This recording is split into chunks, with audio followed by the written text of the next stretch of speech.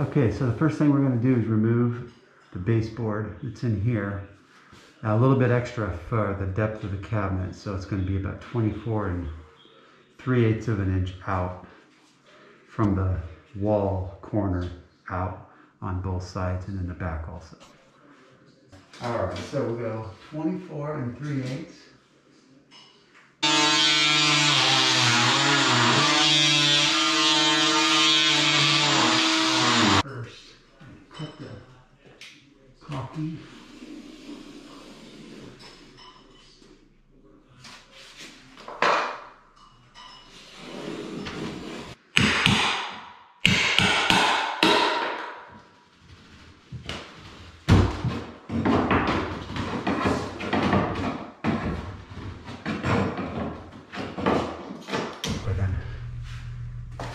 Um, so I can put one cabinet in this area here. And then this one here, I'm gonna have to lift up above, push it in.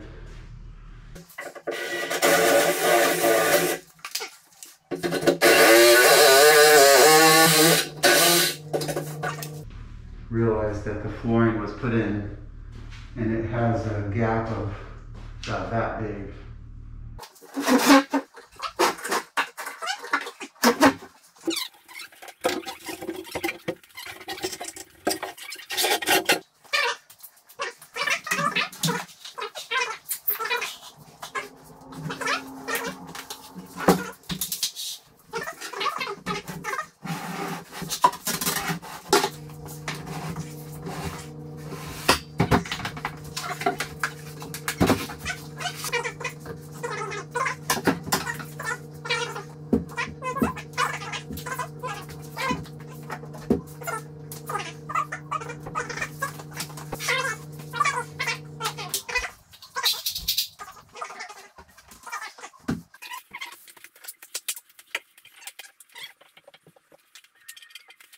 So we'll take these clamps and we just we're gonna squeeze it together. Yeah. Nice. That's it right there.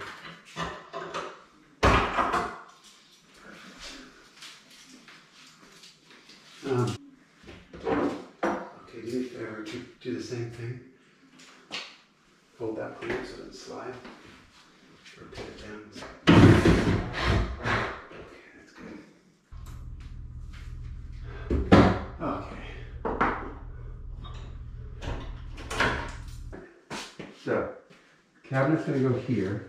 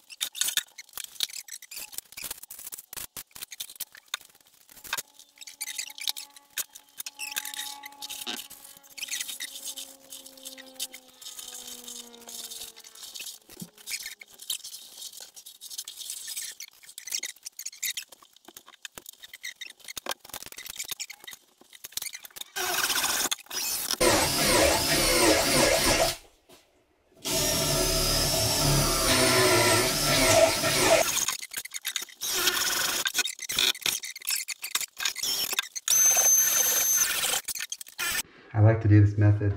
In order to drill these though, you gotta make sure you drill a little bit down, keep the drill going, and then as you're pivoting it, you keep the drill going. Always, otherwise you'll break the drill bit. So it's a little tough to do these. So I'm gonna connect these nice and tight.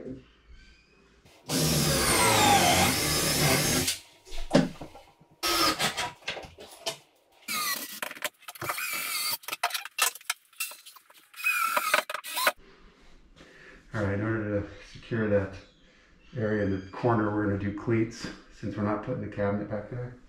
Just like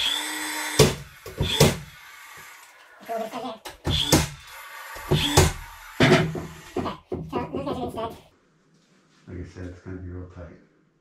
We're gonna wanna come in and basically just lift it up. Hopefully we can get it through this area here.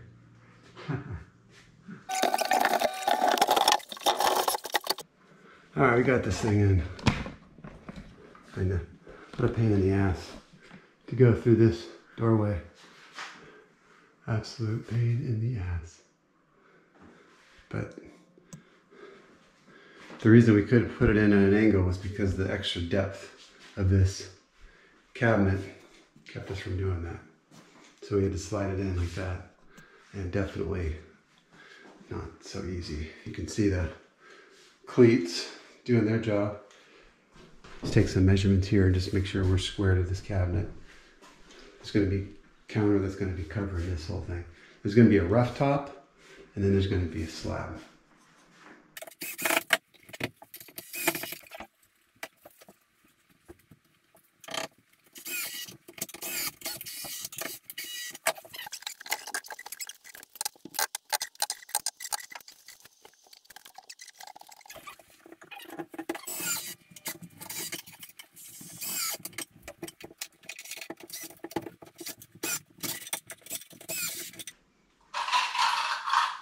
I'm going to use one inch for these guys.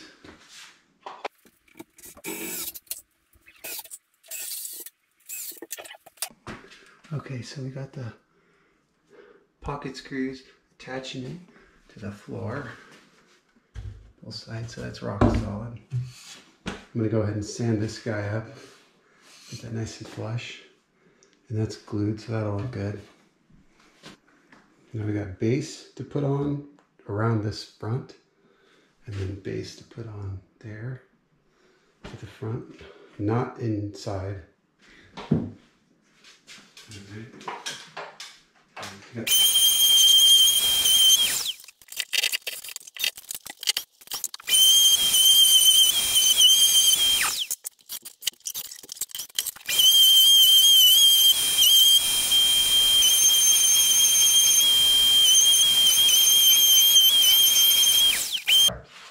So I know the doors go to approximately those lines. Instead of um, measuring up, I'm just gonna take my uh, square and set it down to where I want the baseboard to go to. And it's gonna be about a quarter inch space between the baseboard and the door. So what I'm gonna do is I'm going to check the height of the baseboard and make sure that height is going to work. Um, I want that baseboard to be touching here because there's not going to be anything covering the sides of it. Uh, I can't run it in there because there's no room because of the refrigerator. So I'm just going to let that one uh, end with the butt joint and the 45 for the shoe. Okay, I'm going to go ahead and set this um, square on here. And I'm marking where the top of the base is going to go.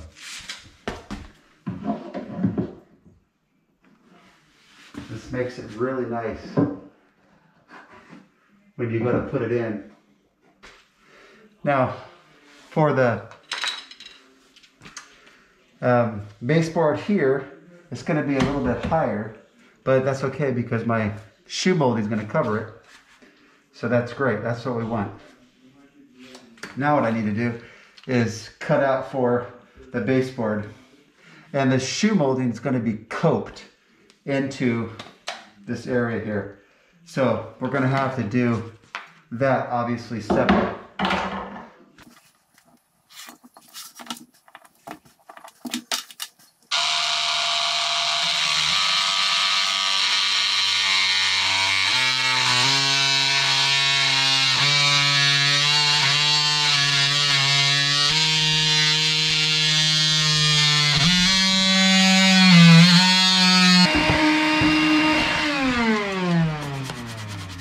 Go to the other one. Now to do the measurements, what I'm going to do, because I've got an inside measurement here, I'm going to take a measurement and I'm actually going to do the, the two-step process where I just go to an even number, which is 20 in this case. 20. And now what I can do is come over to the other side, take a measurement, 26 and a half. So 26 and a half and 20 equals 46 and a half. All right, we're gonna start with the crown molding. And it's just a one piece single crown. It's very similar to what they have in their kitchen. Alright, just gonna put in the squiggly line. I'll probably have to clean some of this up, no doubt.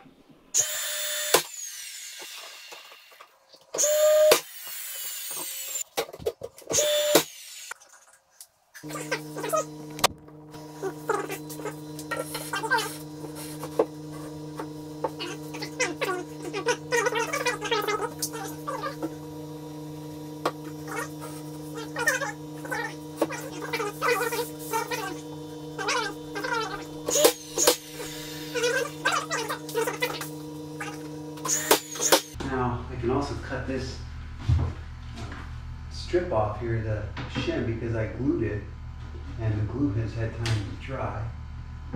Center support here. It's definitely not need glue there for sure. So this is where this, um, I had to take off these hinges because I have to go above the area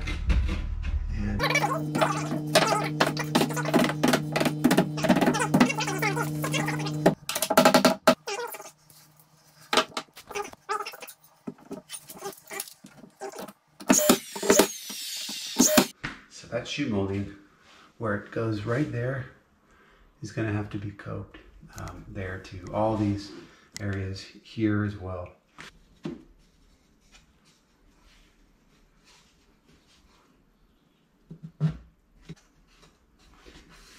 Now this piece here, this little one, is just a little too short. Yeah, that's one of those things. You just sometimes it happens. So what I need to do is recut this one. That guy right there needs to be flush. This piece here, I, ne- I was debating on whether or not I wanted to do that uh, because it's going to be completely covered by the um, refrigerator. But I think I'm actually gonna do that. I think it will look better, and uh, I think the customers will like it. I tested the refrigerator; it goes back far enough, so I'm gonna go ahead and do that.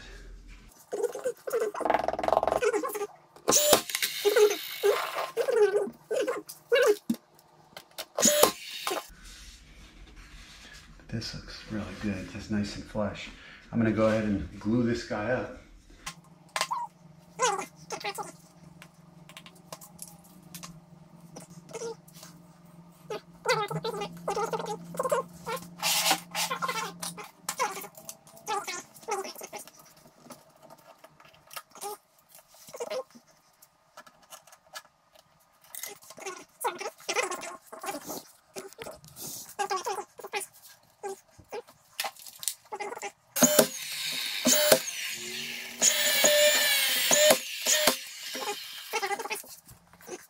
So when I did this, I didn't ease this edge because I knew this was going to be flat and I wanted that to be nice and tight. So what I'm going to do now is ease this edge and also this one and then ease that inside edge as well.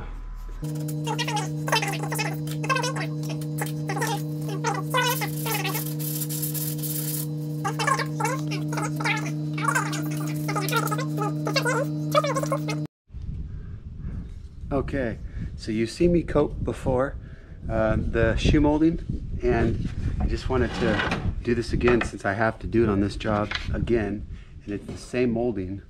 Um, this is going to be a sample piece just to show you it's got a split in it so it's actually kind of nasty. Um, actually, I'll do it on this side.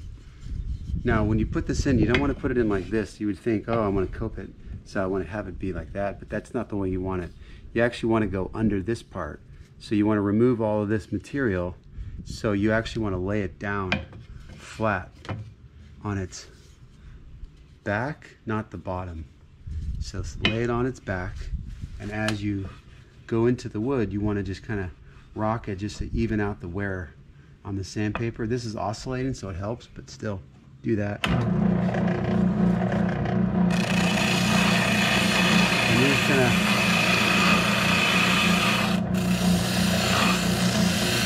This is pine, so it takes up quite a bit of uh, pitch.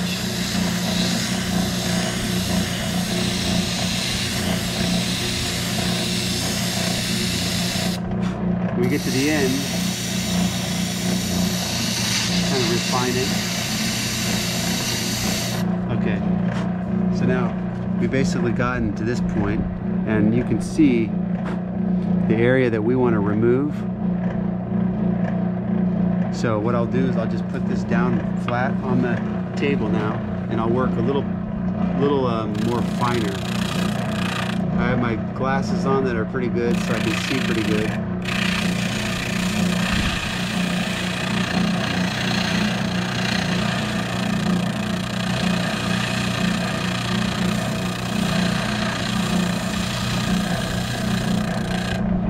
Now when you get to the end, this piece towards the top is going to be really fragile, so be careful.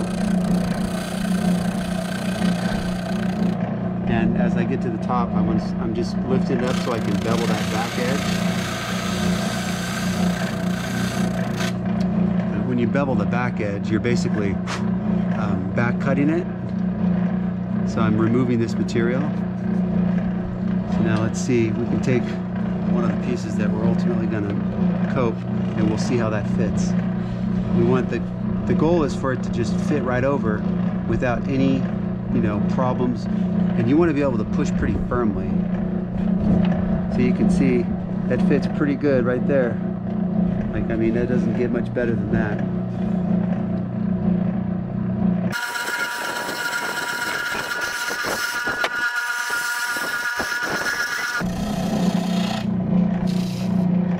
Just get rid of that stuff. Fuzz. Okay, so that's nasty, right? Look at that thing. You can't get that with any other method, in my mind. So you can take this piece that we practiced on and just kind of see what that looks like. When you actually go to put it in the, the house, you want that to be nice and tight. Look at that.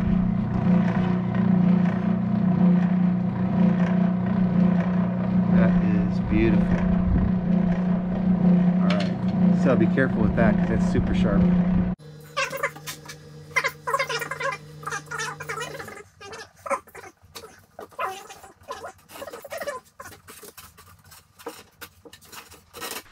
Oh, that fits right there, man. Look at that. Oh, that's so nice. I mean, it doesn't even get. It's hard to explain, but that's so good.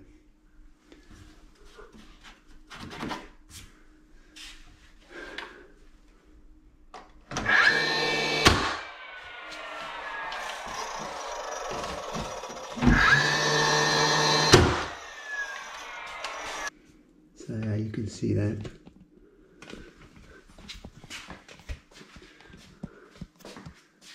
All right. Now come back here, and this is going to be the the kicker. Will this be where it needs to be, or does it need to be?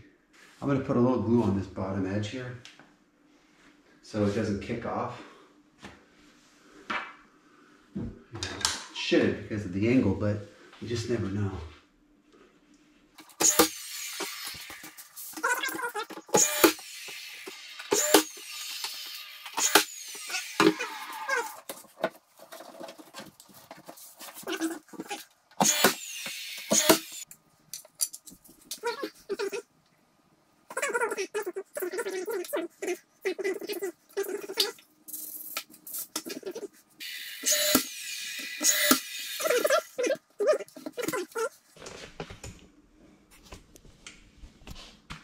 That looks really good. So that's the the outside miter there. You want that? I mean, just doesn't even look like a miter. It just like a big piece of wood. Flush on this side. Everything's flush, so that's really great. And that one there. So I went with the 45 degree angle on the um, on the shoe molding there. Um, so this is perfect. Okay, I'm gonna go ahead and start cleaning up. I got my work cut out for me. Okay, so we got this all done, and it looks really good. You can see up there, the crown molding. It's just what they have in their kitchen, so it's gonna be great for this room. And then this, of course, is gonna have a sub top, a rough top that's gonna be covering up this whole thing. And then there's gonna be a, uh, a granite slab that's gonna go above it. So the doors are gonna be coming down to here. You can see that. And the slab will be about right there. So eighth inch or quarter inch gap. But the um, copes turned out really good. This area here is always a, uh, you know, you want to make sure that uh, you get nice tight um, copes and everything looks good. You want these to be flush here, and then this obviously not to be flush because once they paint everything, it's going to look nice and clean. Same thing here, really strong joint there. Looks really good. Come across here. Now, that guy right there looks really nice. And here too, it's gonna paint. Because it otherwise it could be slightly different. And they'll cut right here. But that, um, you know, that looks really good. Nice. And so these are the joints where you, uh, so this is the added joint when we got here. Same thing up there. You can't tell the difference between the one we did in the shop and the one we did here. They just, you can't see the difference. And that's the, that one there we did here. And of course, the bottom one we did here, you can't tell. It just looks like one continuous face frame rather than having a joint up the middle where you put two cabinets together. This is just so much better. It just looks so much better. Okay, so got all the hinges back on and we are finished. Very nice. So the shells are going in after the painters are done because it's just going to get in their way. The outlet looks nice and clean in there. Yeah. So broom storage and then everything else. So that's how this is. Refrigerator. Um, that looks really clean. That V groove is gonna look nice there too. Um, this all turned out really good. The granite guy is coming in. He's gonna be putting a rough top here. Uh, and then also a obviously the slab. So once that's done, that'll look even better. But right now everything's done. The paint. You'll see how nice the paint looks. I mean, it's just really classy, really good looking. Everything looks real good. The baseboard looks great. See, this is why I use the one inch baseboard to give it um, some definition. If you use three quarter inch baseboard, you, you lose the you lose the uh, thickness because of the door above it. The hinges, you know how they stick out? You, you're, you're gonna lose the three quarter thickness here. So I do the inch baseboard and it looks so much better as you go around here. You see that that definition there. You know, just something I like to do. Whenever my jobs get painted by my painters, I know the job's going to be really good, and this is no exception. This looks really nice. So, doors are flawless. I mean, this looks like glass. The profile, just smooth as glass. MDF. You just, it's all about how you paint it and mill it, but that looks really good. Just really, really nice. So let's double check that this is gonna fit. And that looks good. To cover the holes that you are not using. I don't want to drill the wrong hole.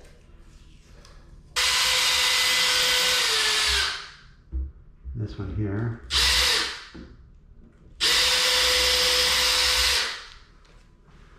Check this, I mean, just triple check. So now, this is where the jig really shines, right? Because you've got, you've got it set up and all you have to do is go to the ones following and just keep going.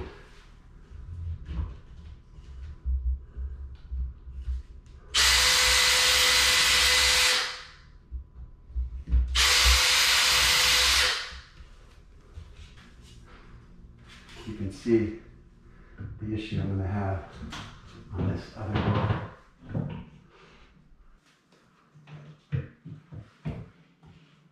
Look at that. Oh my gosh. Isn't that funny? Now, since these are partially done, now what I do is I take my block and I go around and I hit all these guys with my block back end up. So you can see why I do this in two steps, just to have more control and to be able to use my blocker. The backer block. I do that one not quite so tight. Make sure this is straight.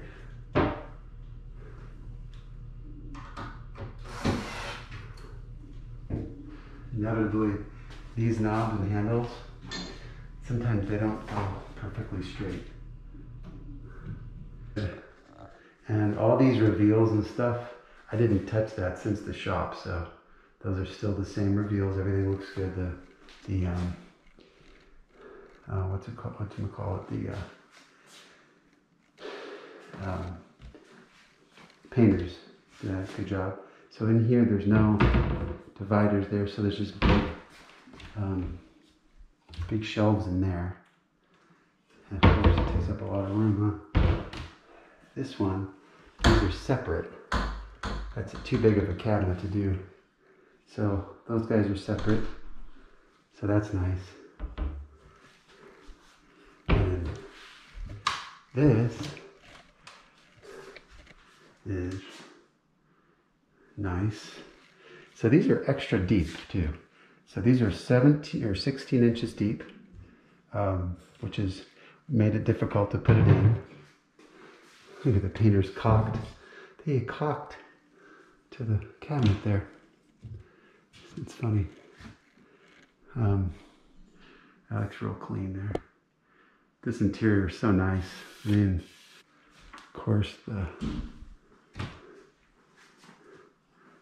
nice. So I, I put a shelf in here. They're not using it. Um, that's the only section that doesn't have a shelf because it's so small. But this one in here, I put a shelf. I figured they might be able to utilize it. So you can see there's actually holes there. And those, um, for whatever, they go all the way down to the bottom. Um, maybe down the road they might want to use use it there.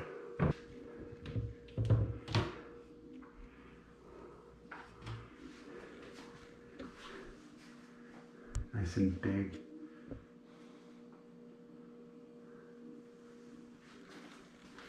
And then, of course, you got the in panel. That looks good. And the way I mounted this thing, this is really solid. Very nice. About six months since we finished this job, but I haven't been able to get by to take a look at the counters. So when you're doing this kind of stuff, you're always left with that, um, the question, how are you going to attach this to the floor? Because there's nothing here, right? There's no support. So up here, there's support, but there's nothing here. And so what I do is connect it to the floor in several ways. And of course, on the video, you can see that. But I always want to make sure this is rock solid and not gonna move. But um, this looks really good. Counters look excellent. And uh, everything just came out really nice. You can see, I mean, the, the um, finish is phenomenal. So whenever you have a good finish on things, it really does help things stay nice, you know, longer. So this looks really good. But you can see here, the guys did a really good job putting the counters in. And of course you've got the, the big pantry doors there. And the joinery where these cabinets get put together, it's so seamless. So you can see, and you remember me building these. The goal for me is to have these cabinets look in a way when it's all done where you can't tell how they're put together. And that's the goal. So these things, I can't tell where the joint is. Completely invisible. Yeah, I can't see. There's just nothing there. So that just goes to show you, if you're trying to achieve this type of a look, where you've got these, you know, each one of these is um, about 40 inches or so. And then they're put, put together right there, but I didn't want that big seam going down the middle. So that's why I do it the way that I do it. You can't see any seam. So that looks very good. Okay. All right.